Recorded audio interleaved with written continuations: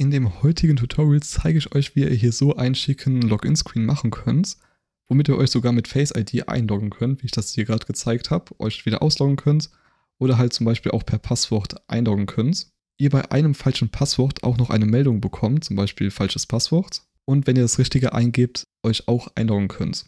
Kleiner Hinweis noch, falls ihr noch keine App in SwiftUI programmiert habt, schaut euch erstmal eins meiner Anfänger-Tutorials an. Ich blende das euch oben rechts ein. Ich werde jetzt hier nämlich nicht auf jede Kleinigkeit eingehen, wie SwiftUI funktioniert. Das heißt, man sollte schon mal ein, zwei Apps in SwiftUI programmiert haben, bevor ihr hier euch dieses Tutorial angucken solltet. Ich würde aber trotzdem alles so gut wie möglich erklären, werde aber nicht auf jede Kleinigkeit eingehen, die man erklären müsste, wenn ihr zum ersten Mal eine App programmiert. Dafür habe ich hier oben rechts schon ein Video gemacht. Okay, fangen wir einmal an. Ich habe jetzt hier schon mal ein Projekt angelegt. Hier können wir jetzt wieder den Standard Quellcode einmal rauslöschen und was ich einmal mache, ich benenne die Content View zu, zu einer Login View um. Und mache einmal hier Login View draus. Und hier unten einmal. Und ich gebe hier einmal kurz Hello World aus. Okay, damit können wir jetzt schon mal anfangen. Das ist hier unsere Hauptview, sage ich jetzt mal. Und wir werden auch gleich noch ein paar Unterviews erstellen, einem View Model. Wie gesagt, einmal eine Verbindung zum Backend, was aber erst im nächsten Video kommt. In diesem Video machen wir auch noch die Face-ID-Anbindung und einmal die Speicherung von dem Benutzernamen. Und das heißt, wenn wir die App ein zweites Mal öffnen, dass der Benutzername schon mal vorgegeben ist und man nur das Passwort eingeben muss. Man dann halt optional mit Face-ID sich einloggen kann, sobald man sich einmal bereits eingeloggt hat in die App. Okay, bevor ich jetzt hier anfange, mache ich jetzt erstmal mir ein neues View-Model. Dafür mache ich hier eine neue Swift-Datei. Stimmt, ich muss hier auch noch diese Swift-Datei umbenennen und nenne das, und nenne das einmal Login View Model. Hier die nenne ich auch noch um zu Login View. Und das L noch groß. Und hier bei diesem Login View Model mache ich mir jetzt einmal eine neue Class Login View Model. Die muss Observable Object sein. Falls ihr nicht wisst, was View Models sind, habe ich hier rechts oben auch ein Video. Das blende ich einmal ein, das könnt ihr euch auch im Anschluss angucken. Da gehe ich mal etwas genauer darauf ein, wie View-Models funktionieren und warum man View-Models benutzt. Ich kann es aber einmal nochmal kurz zusammenfassen, während ich hier einmal die Variablen schon mal hinschreibe. Mit View-Models möchte man erreichen, dass man einen Teil oder seine Hauptlogik von einer View nicht in der View selber schreibt, sondern in einer extra davor gesehenen Klasse, damit man nicht seine Hauptlogik als in der View hat und die View übersichtlicher bleibt und vor allem, dass die View auch keine Abhängigkeiten zur Logik hat. So, ich habe mir erstmal schon mal das View-Modell hier angelegt. Hier kommt natürlich gleich noch mehr rein, aber ich wollte das jetzt hier nur schon mal angelegt haben, dass wir es hier weiter benutzen können. Und hier mache ich mir jetzt einmal ein State Object von diesem View Model und nenne das auch Login VM für View Model und lass mir das auch hier direkt erstmal erstellen. Aber hier fehlt noch ein var. Okay, jetzt haben wir schon mal unser View Model, wo jetzt unser Username drin steht und unser Passwort. Und wir machen jetzt hier mal weiter. Als nächstes legen wir jetzt hier eine eigene View für die Eingabe von dem Passwort und von dem Benutzernamen verantwortlich ist. Und zwar nenne ich die Login Inputs.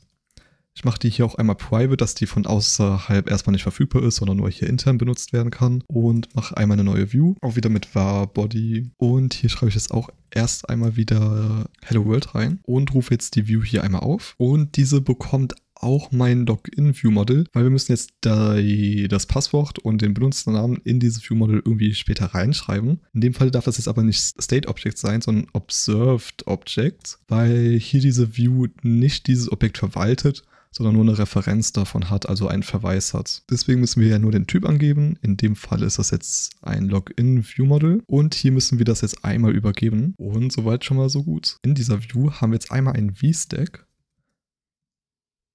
mit einem Eingabefenster, was ich jetzt gleich auch programmieren werde mit Login Username und einmal Login Passwords. Beziehungsweise du kannst auch ein bisschen umbenennen. Wir machen hier einmal Username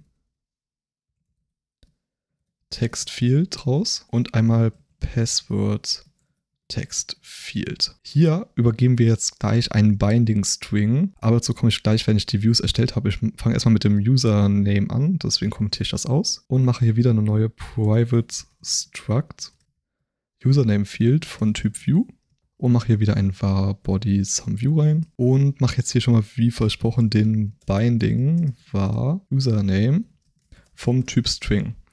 Hier übergebe ich jetzt mal nicht das komplette Login-View-Model. Aus dem Grund, weil hier bei diesem Login-View-Model hätten wir jetzt auch Zugriff auf das Passwort. Hier dieses Textfield soll aber keine Berechtigung, sage ich das mal, haben, irgendwie auf das Passwort zu sehen oder andere Aktionen zu machen. Deswegen übergebe ich jetzt hier nur den Username. Theoretisch könnte man das gleich jetzt auch bei dem Login-Input sagen, dass wir hier nur den Username und das Passwort eingeben und man dann keine Berechtigung hat, irgendwie auf Einloggen zu drücken. Aber in diese View werde ich später wahrscheinlich auch den Anmelde-Button und, und den Face-ID-Button reintun. Deswegen habe ich hier mal schon mal die, das komplette Login-View-Modul übergeben. Hier bei dem Body tue ich jetzt erstmal wieder einen neuen Text rein mit Hello World, das alles kompiliert. Hello World müsst ihr jetzt nicht immer schreiben. Ich schreibe das jetzt nur, dass man das hier sieht, dass sich irgendetwas tut oder dass noch was angezeigt wird. Und hier übergebe ich jetzt einmal den Binding-String. Und wenn jetzt hier rechts die Preview lädt, was sie gerade noch nicht tut, Ah, ich muss den Binding hier vorne übergeben. Dann wird jetzt auch Hello World angezeigt. Als nächstes kommt jetzt hier ein H-Stack rein, weil wir wollen jetzt hier einmal auf der linken Seite ein Icon haben, wo eine Person drauf ist und auf der rechten Seite einmal ein Eingabefeld für den Benutzernamen. Für dieses Icon können wir das Image benutzen und können jetzt hier ein System Name machen und dann einmal Person hinschreiben oder Person, weil es eigentlich auf Englisch ist.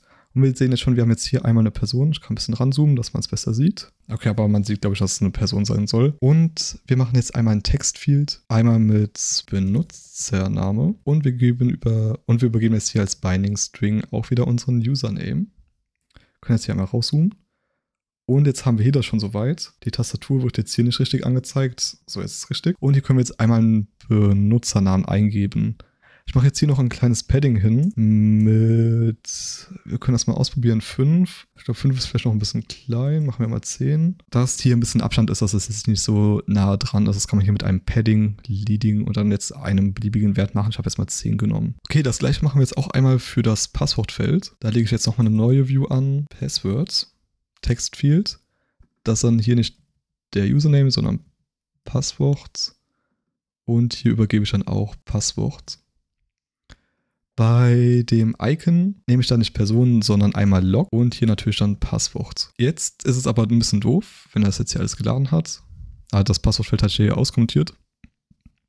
Muss ich erst wieder einkommentieren. Und hier übergebe ich auch als Binding Login View Model Passwort. Problem ist jetzt beim Passwort, wenn ich jetzt hier mein geheimes Passwort eingebe, dann ist das nicht ganz so geheim, weil das kann jeder sehen.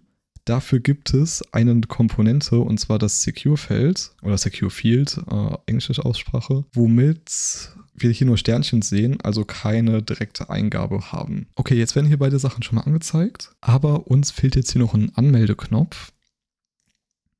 Den werde ich jetzt hier reinfügen, werde das aber auch als eigenes Feld machen, äh, als eigene View machen. Deswegen mache ich hier einmal private struct login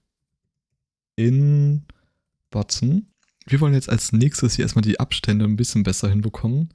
Das Problem ist jetzt, dass das halt dieser Benutzername halt entweder nach ganz links geht und das Passwort auch bis nach ganz links und der Anmeldeknopf bis nach ganz rechts. Das sieht jetzt aber nicht so schön aus, besonders am iPad wäre das noch etwas doofer. Deswegen wollen wir diesen Login-Input einmal auf eine feste Größe setzen, weil das Eingabefeld soll halt immer nah beieinander sein.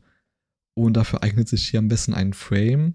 Ich mache dafür jetzt keine Paddings links und rechts, weil je größer das Gerät ist, desto größer müssen auch wiederum die Paddings sein, dass es halt immer nah beieinander ist.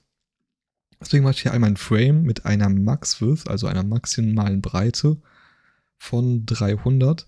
Wir werden jetzt hier mal gucken, ob 300 gleich reicht oder ob das noch ein bisschen größer oder kleiner sein muss. Nachdem wir hier die ganzen Paddings zwischen den Fenstern gemacht haben und das noch alles verschönert haben. Gehen wir einmal, fangen wir beim Verschönern jetzt erstmal mit dem Login-Text an. Hier machen wir einmal bei Fonts Headline,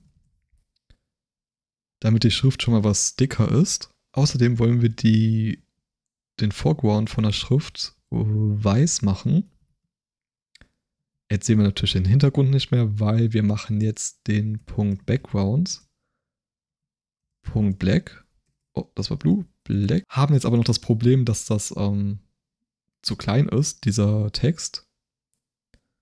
Und auch nicht abgerundet. Deswegen machen wir vor dem Backgrounds einmal ein Padding. Er sieht ja schon mal was größer aus. Und wir machen jetzt noch am Ende ein Corner Radius von 15. Jetzt haben wir schon mal unseren Anmeldeknopf fertig. Als nächstes passen wir jetzt noch einmal unseren Benutzernamen an und einmal unser Passwort. Unser Benutzername bekommt erstmal ein Padding, genauso wie unser Passwort hier unten. Das können wir auch gleich noch etwas schöner machen, dass das nicht doppelt ist und bei den Feldern immer gleich ist.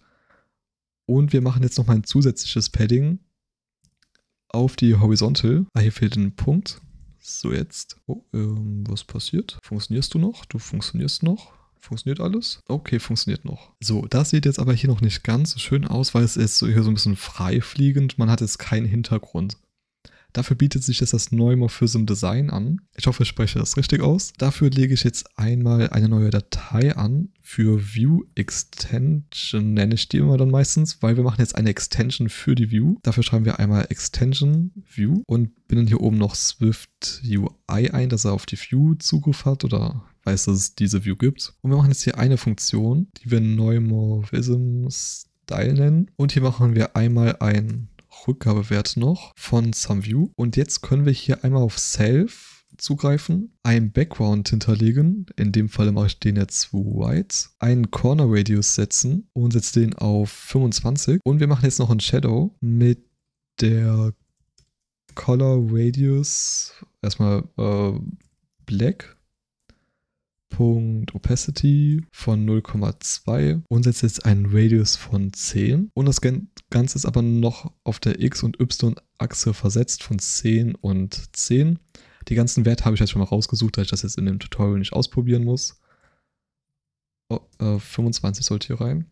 Äh, nicht, dass ihr euch wundert, warum ich direkt auf die Werte komme. Ich habe dafür jetzt auch kein Naturtalent, sondern habe mir die vorher alle schon mal aufgeschrieben. Und jetzt haben wir eine View-Extension, die wir überall in unserem Projekt hinzufügen können, womit wir eine View in einem Neumorphism-Style anzeigen können. Und zwar ist das in dem Falle unser Login-Input. Dafür gehen wir hier unten, wo unser V-Stack ist und können jetzt hier diese Methode, die wir gerade geschrieben haben, Neumorphism-Style aufrufen wie wir sehen, ist das jetzt im Neumorphism-Style. Sieht aber noch nicht perfekt aus, weil das jetzt hier genau Kante an Kante geht. Um das ein bisschen schöner zu machen, machen wir hier erstmal ein Padding noch, um Abstand zu haben. Und machen hier nochmal ein Padding. Ist jetzt aber ein bisschen klein geraten. Deswegen erhöhe ich jetzt hier einmal die Größe auf 400. Das sieht jetzt schon was besser aus. Probieren wir mal 350. Und wir können hier noch eine 350 und wir schauen uns das jetzt einmal auf verschiedenen Geräten an. So, wir sehen jetzt hier einmal zwei Geräte. Ich bin einmal auf einem iPhone 14 Pro und wir sehen, das Fenster sieht perfekt aus, auch wenn ich das in die Horizontale mache. Okay, auf Kopf geht oder so nicht bei iPhone. Und auf dem iPad sehen wir auch, wir haben hier eine perfekte Benutzereingabe. Und auch wenn ich das rotiere, sieht das in allen Ebenen gut aus. Soweit so gut. Ich beende hier einmal die Apps, weil wir jetzt hier weitermachen.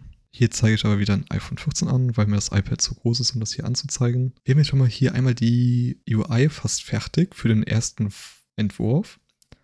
Als nächstes machen wir jetzt einmal eine Anmeldefunktion, wo wir den Benutzernamen speichern und wenn wir die App einmal neu starten, dann wird wieder der Benutzername angezeigt, sofern wir uns einmal davor richtig eingeloggt haben. Dafür mache ich so einen kleinen Mock. Da ich keinen REST-Service habe, der mit die Daten validiert, mocke ich das erstmal. Wie gesagt, das kommt dann im nächsten Video wie man die Verbindung zu einem REST-Service macht. Ich bereite jetzt hier aber erstmal was vor und zwar benötigen wir jetzt hier einmal eine Funktion, die Login heißt. Hier müssen wir jetzt keine Parameter übergeben, weil unseren Username und unser Passwort haben wir hier schon einmal. Wir machen hier auch direkt erstmal einen Rückgabewert und zwar von Login Error. Login Error ist aber ein eigener Enum von uns, den ich jetzt mal hier oben anlege, beziehungsweise lege den woanders an weil in dieser Login-Methode werden wir jetzt einmal einen Login-Händler machen, aber nur ein Protokoll davon und ein Mock, weil wie gesagt, der echte Zugriff auf den REST-Service, der kommt erst im nächsten Video. Dafür mache ich jetzt hier eine neue Swift-Datei wieder.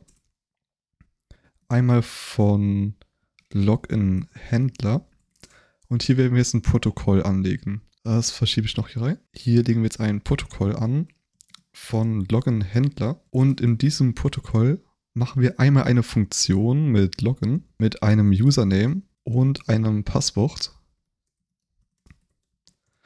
Und diese Funktion gibt uns jetzt einen Login-Error zurück.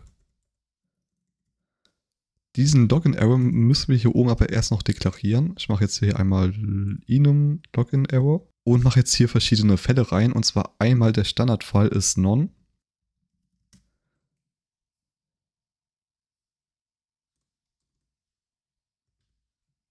Und einmal Case Invalid Password.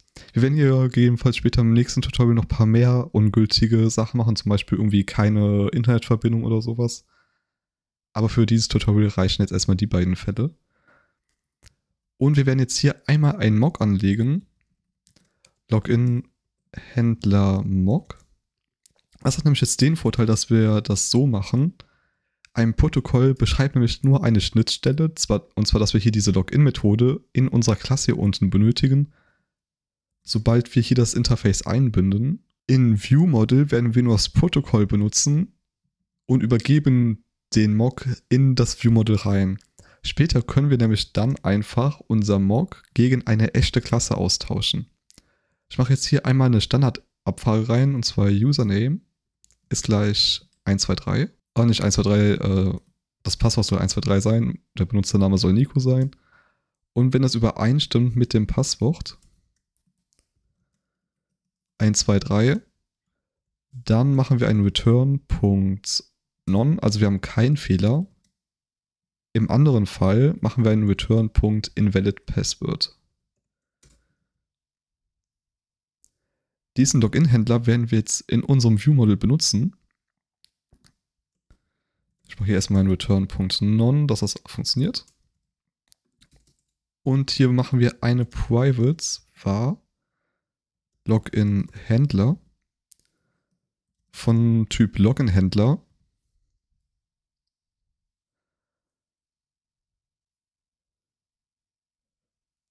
Jetzt brauchen wir aber auch einen Konstruktor wo wir diesen Login-Händler übergeben. Wie gesagt, ganz wichtig, das soll hier nur das Protokoll sein. Das heißt, hier muss das PR davor stehen für Protokoll.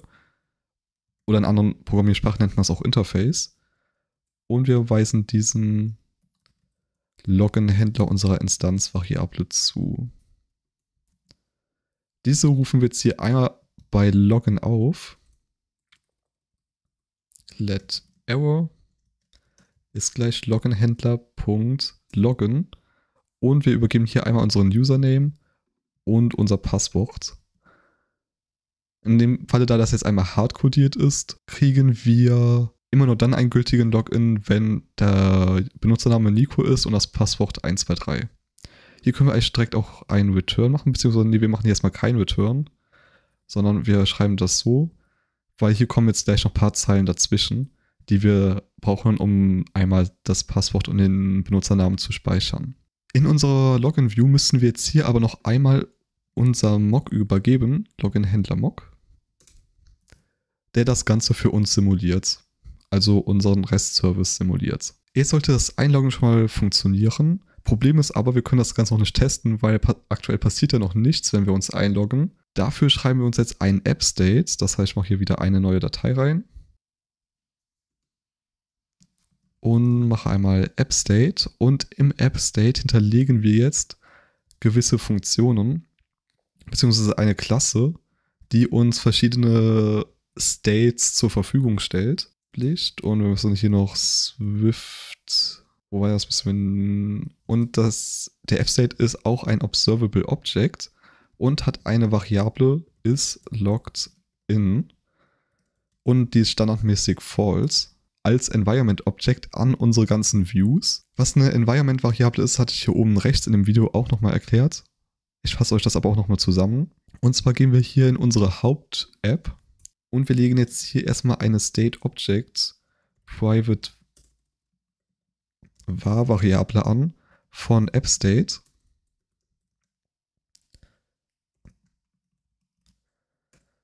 Und diese übergeben wir jetzt hier als Environment Object an unsere View. Alle unteren Views können jetzt auf diese App State zugreifen, indem wir einfach schreiben add environment object var app state Doppelpunkt app state, weil jetzt erkennt Swift im Hintergrund, dass dieses Objekt und das andere, was wir gerade übergeben haben, die gleichen sein sollen. Und wir können jetzt auf diesen Status von isLogged-in zugreifen schreibe das jetzt mal hier in die Button-Action rein. appstate.isLoggedIn soll gleich sein loginvm.login. Und wenn das Ganze, ich schreibe das mal lieber in zwei Zeilen, let error Und wenn jetzt unser Fehler non ist, dann sind wir eingeloggt. Oh, warum geht das nicht? Achso, äh, ich muss zwei gleichzeitig schon machen. So jetzt. Und wenn jetzt unser Error non ist, dann sind wir eingeloggt und unsere Hauptview erkennt, dass wir eingeloggt sind. Hier erkennen wir jetzt, dass wir eingeloggt sind. Da hier das ja ein Observable Object ist und die eine Published-Variable hat mit isLoggedIn und auf diese können wir jetzt hier abfragen, if .isLoggedIn else das. Ich mache jetzt hier noch ein Ausrufezeichen davor, dass der erste Fall, wenn wir nicht eingeloggt sind, am Anfang sind.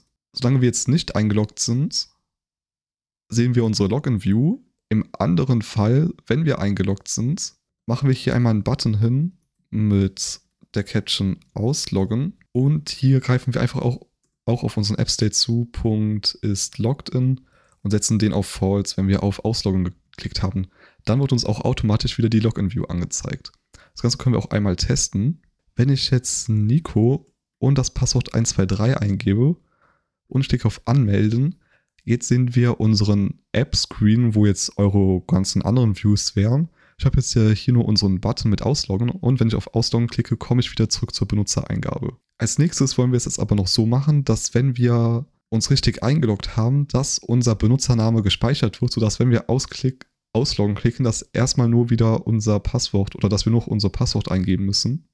Damit wir aber unser Passwort und, unser, und unseren Benutzernamen speichern können, brauchen wir die Keychain am besten. Die Keychain ist so etwas ähnliches wie Core Data, wo wir Daten speichern können, nur werden diese auch gut verschlüsselt, was beim Benutzernamen und beim Passwort auch sehr wichtig ist. Bei Core Data kann man auch eine Verschlüsselung einstellen, aber da es hier nur einzelne Werte sind, lohnt sich dafür jetzt nicht extra Core Data Objekte zu machen. Deswegen benutze ich dafür jetzt einfach die Keychain. Dafür gibt es auch einen Keychain Wrapper, den ich in diesem Video benutzen werde. Den hätte ich hier schon mal eingebunden. Den findet ihr bei GitHub. Da könnt ihr euch einmal die Adresse von dem GitHub Repository kopieren. Geht hier oben auf eure App drauf, scrollt dann etwas weiter nach unten und jetzt könnt ihr hier Frameworks und Libraries hinzufügen. Geht hier einmal auf Add Other, Add Package Dependency, gebt jetzt hier oben die URL ein und könnt jetzt das Package hinzufügen. Wie gesagt, in meinem Fall ist das jetzt schon einmal hinzugefügt, deswegen kann ich es nicht mehr hinzufügen. Und wir können jetzt, wenn wir hier bei Import draufgehen, Swift Keychain Wrapper hinschreiben. Wenn das funktioniert und ihr könnt noch kompilieren, dann hat das bei euch funktioniert. Damit wir jetzt Werte speichern und lesen können, benötigen wir für jeden Wert, den wir speichern, zum Beispiel Username, einen Schlüssel, an dem wir, mit dem wir an den Wert drankommen und den Wert lesen können oder schreiben können. Dafür mache ich hier einmal eine Extension von Keychain Wrapper .key und schreibe jetzt einmal static let's key username, das ist unser Schlüssel, um an den Username dran zu kommen. Der ist vom Typ Keychain und hat einmal Username als Wert. Das gleiche machen wir jetzt auch nochmal fürs Passwort. Und mit diesen Sachen können wir jetzt unsere Werte speichern bzw. laden. Dafür gehe ich jetzt einmal hier dazwischen.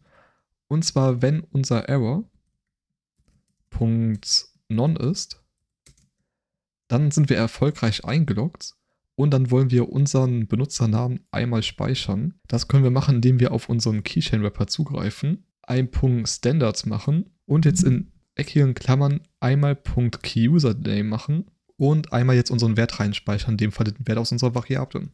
Wichtig ist oder als Info, Keychain Wrapper ist relativ einfach hier zu benutzen, aber das nur für Werte, nur für einzelne Werte geeignet.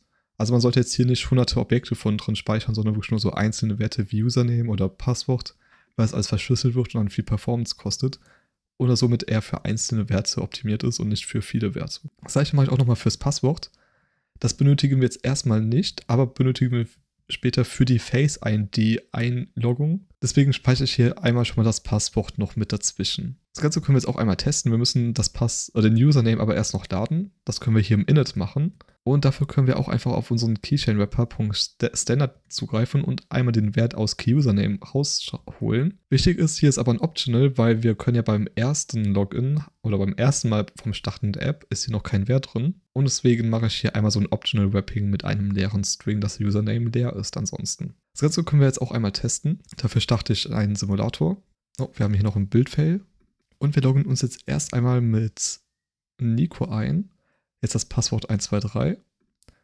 Klicken auf Anmelden. Und wenn ich mich jetzt auslogge, wird unser Benutzername wieder vorgeblendet, weil er gespeichert werden konnte. Bei dem Gerät lösche ich jetzt einmal alle Daten. Das hätte ich vielleicht in einer anderen Reihenfolge machen können. Wir loggen uns einmal falsch ein, um zu sehen, ob das nicht speichert, wenn wir uns falsch einloggen, weil das wollen wir ja so haben. Dafür warte ich einmal, bis der Simulator installiert ist. Und wenn ich jetzt hier einen anderen Benutzernamen eingebe, zum Beispiel irgendwas und hier irgendwas, klicke auf Anmelden, wir können es nicht einloggen. Wenn ich die App neu starte, wird der Benutzername nicht gespeichert. Wenn ich mich jetzt richtig einlogge und ich mich wieder auslogge, wird der Benutzername gespeichert.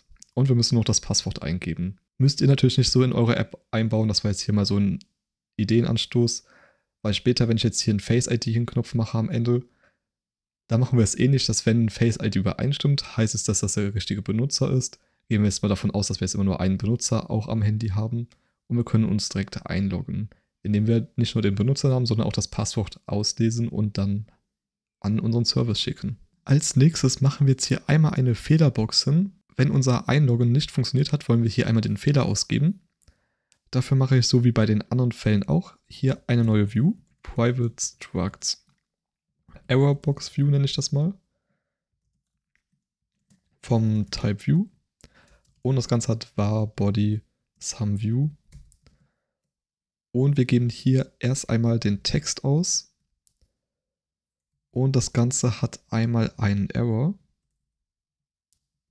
War let's Error. Weil ich mache hier Vadra. Ne, war haben wir schon. Ups, sorry. Das Ganze ist ein Login-Error, den wir auch schon in unserem View-Model benutzt haben. Und wir geben hier einmal den Fehler aus mit Error Description. Description haben wir aber bei uns beim Error noch nicht hinterlegt. Das müssen wir erst noch hinzufügen. Dafür mache ich hier eine neue Property. Gets Return. Beziehungsweise hier kommt eher ein Switchen mit self und einmal Punkt äh, case.non, wo ein Return von einem Empty String ist. Und wir machen einmal case.invalidPassword, wo wir zurückgeben falsches Passwort. Was habe ich vergessen? Ah, hier fehlt noch äh, String. Ah, und hier fehlen noch geschweifte Klammern. So, jetzt sieht es schon mal was besser aus. Und hier fehlt ein Doppelpunkt. Jetzt haben wir alle Syntaxfehler raus. Gehen wieder zurück zu unserer Login-View. Hier sollte jetzt eigentlich der Fehler angezeigt werden können. Genau. Die Errorbox zeigen wir jetzt unter unserem Passwortfeld an. Hier übergeben wir jetzt einmal unseren Fehler. Hier müssen wir auch kein Binding oder sowas rausmachen. Wir können den Fehler da ja nicht bearbeiten. Ich überlege gerade nur, wie greifen wir darauf zu. Ich gehe darauf über die Login-View hier holen wir uns den Error einmal raus. Der ist aber noch nicht public da drin. Das heißt, wir gehen erst einmal nochmal zurück zu unserer Login-View. Machen hier einmal published var error. Defaultmäßig ist es login error.non. Also kein Login-Fehler. Und hier beim Login schreiben wir den Wert hier oben rein. Wir können jetzt auch noch eine Property machen. Uh, show Errorbox. Errorbox oder Show Error oder has error, is error. Ah. Ich mach mal has error vom Typ Boolean. Und wir machen hier ein Return mit error ist ungleich none. Das brauchen wir nämlich jetzt gleich noch, wofür werdet ihr sehen. Hier können wir nämlich jetzt die Errorbox anzeigen. Problem ist aber, dass die Errorbox ein bisschen Platz benötigt. Ihr könnt das hier vielleicht rechts sehen, wenn ich ein bisschen ranzoome. Wenn ich die jetzt einkommentiere, geht das ein bisschen weiter nach unten. Das möchte ich nicht. Ich möchte, ich möchte nur, dass die Errorbox da ist, sobald auch ein Error vorliegt. Deswegen mache ich hier eine Abfrage auf loginview.haserror. Und nur dann, wenn der Fehler da ist, wird auch diese Fehlerbox angezeigt. Ich gehe mal zurück in die Fehlerbox, weil die sieht jetzt noch nicht so schön aus. Wir können mal hier ein Login-Error explizit setzen. Ich mache mal hier raus ein Punkt Invalid Password, dass wir sehen können, wie das hier aussieht, ohne dass ich jetzt hier die ganze Zeit irgendwas eingeben muss. Problem wäre auch, ich kann das hier nicht eingeben, weil dieser Keychain Wrapper im Hintergrund würde diese Preview zum Abstürzen bringen. Das könnte man auch nochmal mocken, beziehungsweise mit dem Dependency Inversion Principle. Abändern, dass das funktionieren würde. Mache ich aber mal ein eigenes Video draus, falls euch das interessiert. Würde jetzt den Rahmen von diesem Tutorial ein bisschen sprengen. Okay, die Frage ist, warum wird mir jetzt hier noch kein Text angezeigt? Achso, weil die Errorbox nicht sichtbar ist. Das hätte ich jetzt nicht so nicht machen dürfen. Okay, kommentiere ich hier das gerade nochmal aus. So, warum wird jetzt hier kein Fehler angezeigt? Die Errorbox sollte doch sichtbar sein. Na, eigentlich dürfte hier das auch gar nicht sein. Ah, jetzt wird es angezeigt. Okay, der hat das nochmal überschrieben. Es wird hier falsches Passwort angezeigt. Sieht aber nicht so schön formatiert aus, deswegen ändern wir das mal ein bisschen. Wir machen nämlich hier noch einen H-Stack darüber. Löschen das einmal raus, schreiben das hier hin und machen jetzt ein Image davor noch, beziehungsweise eher ein Icon. Und zwar das xmark.circle.fill. Und das Ganze machen wir auch noch rot mit Foreground color.red. Falsches Passwort. Das sieht jetzt schon mal was besser aus. Das können wir auch einmal testen an, der, äh, an dem Simulator. Dann mache ich das wieder weg und ändere das mal hier so ab. Ah, hier muss ich jetzt noch einmal wieder unseren Fehler übergeben aus unserem Login ViewModel in viewmodel.error. Starte ich einmal den Simulator. Hier haben wir jetzt noch Nico eingegeben. Ich mache jetzt einmal ein falsches Passwort und wir sehen, wir bekommen eine Fehlermeldung mit falsches Passwort. Wenn ich jetzt wieder 1, 2, 3 mache und ich auf Ausloggen gehe, ist der Fehler weg. Zurück zu Xcode das wäre jetzt auch soweit. Als nächstes mache ich hier oben noch ein Bild hin von unserem Firmenlogo zum Beispiel. In dem Fall ist das jetzt ein ausgedachtes. Dafür müsst ihr erstmal bei Assets ein neues Bild hinzufügen. Das könnt ihr einfach per Drag and Drop hier reinziehen. Also hier links in dieses Feld. Und das könnt ihr dann auch umbenennen, so wie ihr das wollt. Natürlich so umbenennen, dass ihr den Namen noch kennt und dass ihr den gleich aufrufen könnt, weil wir brauchen hier diesen Namen von dem Bild. Wir gehen nämlich jetzt in die Login-View wieder, machen hier über dem Username einfach mal ein neues Private Struct Login Image vom Type View und hier auch wieder war Body Some View und hier machen wir nämlich jetzt ein Image rein und müssen jetzt den Namen angeben, welchen wir auch bei den Assets hinterlegt haben.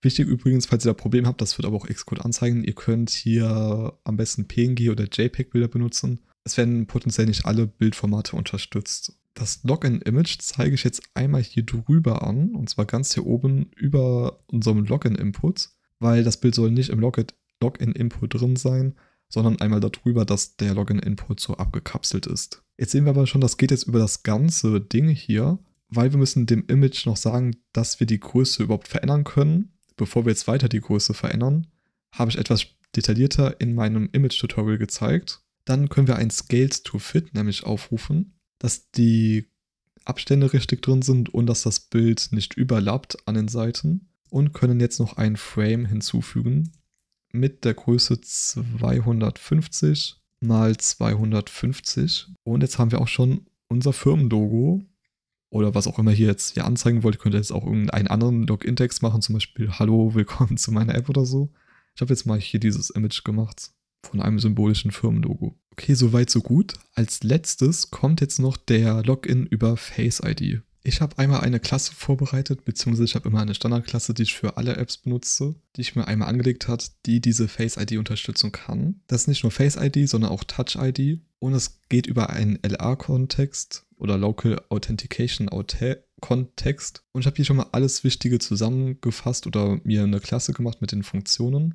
Und diese werden wir jetzt auch benutzen. Ich werde das jetzt hier nicht nachprogrammieren oder genauer erklären, weil es wäre auch nochmal ein eigenes Video wert und das geht schon recht lange. Alle Dateien hier aus diesem Projekt, auch diese hier, findet ihr auch auf meinem Discord.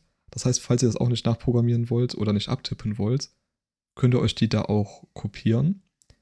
Ansonsten gehe ich hier einmal kurz durch, dass ihr euch das anhalten könnt und abtippen könnt.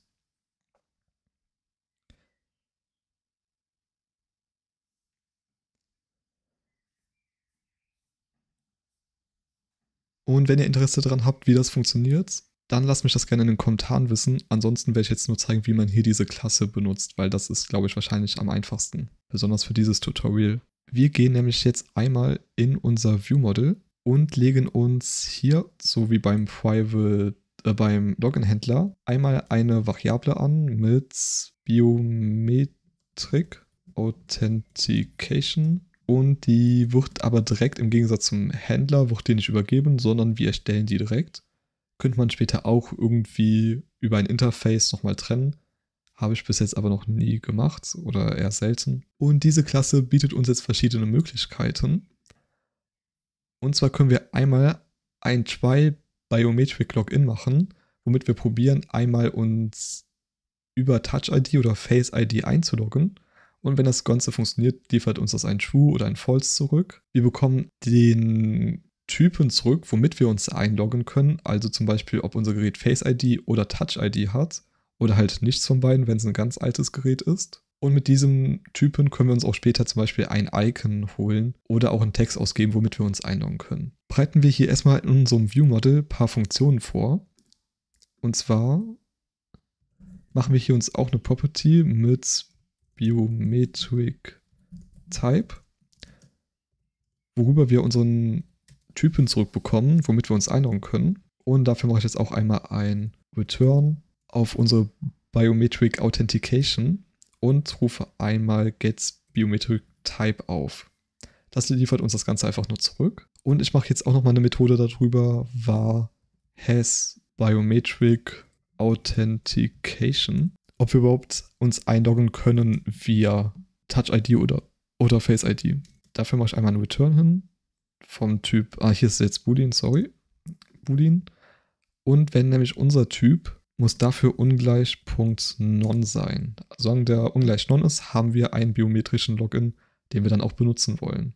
Außerdem wollen wir diese biometrische Login-Funktion nur verfügbar haben, wenn wir einmal schon eingeloggt waren, weil ansonsten haben wir kein Passwort und keinen Benutzernamen lokal auf dem Gerät gespeichert. Deswegen müssen wir uns das auch einmal zwischenspeichern. Dafür mache ich hier oben auch eine private Variable, known user, welche standardmäßig auf false ist und diese wird auf True gesetzt, falls in unserem Init der Username ungleich einem leeren String ist. Dann wissen wir, wir waren schon mal eingeloggt und Face ID sollte verfügbar sein. Und wir verschieben hier gerade noch mal ein paar Variablen, dass es was übersichtlicher ist. Das hier verschiebe ich auch einmal bis nach ganz oben. Ich mag das immer, wenn die Instanzvariablen ganz oben stehen, dass man sieht, was verfügbar ist. Ich ändere hier diese Property jetzt auch einmal um zu Biometric Authentication Authentication Available und die ist nur dann verfügbar, wenn wir hier das überhaupt erst haben und wenn wir ein bekannter Benutzer sind. Deswegen mache ich hier einmal eine AND-Verknüpfung dazwischen. Und das können wir jetzt gleich bei der UI abfragen, um unsere View für die biometrische Authentification, Authentication anzuzeigen. Wir benötigen aber jetzt noch eine zusätzliche Login-Funktion. Und zwar nenne ich die jetzt einmal Biometric Login. Diese gibt uns auch einen Login-Error zurück. Dafür füllen wir jetzt unser Passwort aus von unserem Keychain-Wrapper.passwords, äh, Key-Passwords war das, glaube ich, Passwords, und machen hier noch ein Unwrapping hin, falls es doch keins gesetzt sein sollte, dass das Passwort einfach leer ist.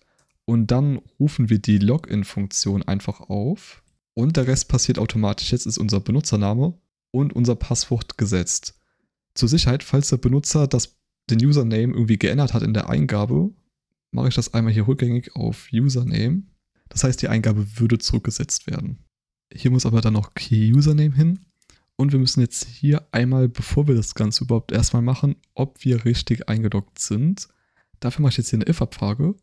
Dann Biometric, Moment, wie hätte ich das nochmal genannt? Biometric, Biometric Authentication. Punkt 2 Biometric Login. Und wenn das Ganze klappt, dann rufen wir unsere Login-Methode auf. Andernfalls können wir jetzt hier einen Error-Typ zurückgeben. Wir können jetzt hier auch einen neuen angeben. Wir machen jetzt hier mal nicht Invalid Password, sondern Case. Ich mache jetzt einmal BA-Error für Biometric Authentication Error.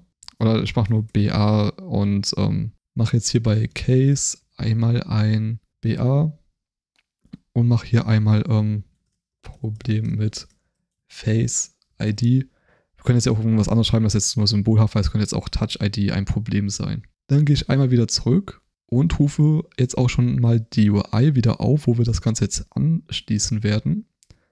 Und zwar werden wir das hier, ich kann mal den Canvas auch wieder einblenden. Also machen wir hier links neben, den, neben dem Button unseren biometrischen Login-Button Dafür mache ich hier einmal eine if-Abfrage Und jetzt gehe ich auf unser Login-View-Model, greife jetzt auf Biometric Authentication Available und wenn das Ganze verfügbar ist, wollen wir diesen Button anzeigen. Dafür schreibe ich schon mal Button, eine Action rein, das Label machen wir hier drum und hier machen wir jetzt einen Methodenaufruf und zwar genau das gleiche wie hier, nur machen wir hier nicht Login, sondern Log Biometric Login und der Rest sollte jetzt eigentlich automatisch funktionieren. Wir testen das gleiche natürlich auch noch. Und ich mache hier unten eine Private Struct Biometric Button hin, Button View, View. Und hier zeigen wir jetzt unseren Button an. Wir machen hier noch einmal eine Variable Biometric Type, Biometric Type und einmal var body some view. Hier oben brauchen wir wieder keinen Property Wrapper, weil sich dieser biometrische Typ nicht innerhalb dieser View ändert, sondern wenn, dann wird er von außen neu übergeben. Die View muss dann so oder so neu geladen werden, deswegen brauchen wir es hier nicht. Hier mache ich jetzt einmal ein Hashtag mit einem Image mit System Name Biometric Type Get Icon Name, der macht uns das schon automatisch. Und ich mache hier einmal einen Text daneben mit Biometric Type Get Text. Bei dem Image machen wir noch einmal Resizable, dass das von der Größe passt, beziehungsweise bei dem Icon und machen einmal ein Frame mit einer Width und einer Height von jeweils 50. Den Button werde ich jetzt hier einmal reinsetzen. Hier übergebe ich jetzt unseren Biometric Type, der kommt aus der Login View, äh, Login View Model meine ich natürlich. Und hier haben wir einmal Biometric Type. Ich mache jetzt hier noch ein Padding mit Punkt Leading, dass links ein bisschen Platz ist. Ich hatte hier eben auch ein Padding.Trading Trading bei dem Anmeldeknopf hinzugefügt, dass rechts ein bisschen mehr Platz ist. Ich hatte aber noch nicht auf Aufnahme gedrückt. Deswegen hattet ihr das eben nicht mitbekommen. Soweit so gut. Testen wir das Ganze einmal, ob alles funktioniert, wie ich das mir vorgestellt habe. Dafür starte ich einmal den Simulator. Und ich gebe jetzt hier erstmal Nico ein mit 123. Klicke auf Anmelden. Das funktioniert. Und wenn ich jetzt auf Ausloggen gehe, bin ich jetzt schon einmal eingeloggt. Das heißt, der kennt mich schon. Wenn ich jetzt auf Face ID drücke, müsste ich mich via Face ID anmelden können. Ah, stimmt, ich hatte was Wichtiges vergessen. Ah, stimmt, ich hatte was Wichtiges vergessen. Wenn wir Face ID benutzen, müssen wir einen Key in unsere Info-P-List reinschreiben. Ich gehe hier einmal in unsere Info-P-List und hier können wir einmal auf das Plus gehen und können jetzt hier einmal einen NS Face ID Uses, Usage Description hinzufügen. Hier unten so wird das geschrieben oder ihr tippt hier Privacy-Face ID Usage ein und wir müssen hier einmal einen Grund hinterlegen, wofür wir das benötigen, zum Beispiel für App-Login. Und das Ganze sollte jetzt eigentlich funktionieren. Ich starte das nochmal. Ich bin jetzt hier eingeloggt und wenn ich jetzt auf Face ID gehe, ich bin gerade mal auf mein privates bzw. auf mein echtes iPhone gegangen, weil hier an dem Simulator funktioniert das leider nicht, deswegen blende ich euch das ein. Ich weiß nicht, was ich falsch gemacht habe. Da ich nicht so oft mit Face ID arbeite, gibt es hier eigentlich nichts, weshalb ich nicht wüsste, warum das nicht funktionieren sollte. Aber ich zeige es euch hier auf meinem echten iPhone. Wenn ich jetzt auf Face ID drücke, da kam zuerst noch eine Warnung oder eine Meldung, dass das Gerät auf Face ID zugreift und ob es das darf, dann muss man dann OK drauf drücken. Und sobald ich dann auf OK gedrückt habe, funktioniert auch der Face ID Login. Dann bedanke ich mich einmal fürs Zuschauen von diesem Tutorial und im nächsten Video schauen wir uns einmal an, wie wir einen REST-Service im Hintergrund haben. Abonniert dafür gerne den Kanal. Alle Dateien findet ihr auf meinem Discord, ist im angepinnten Kommentar unten. Vielen Dank fürs Zuschauen und bis zum nächsten Video.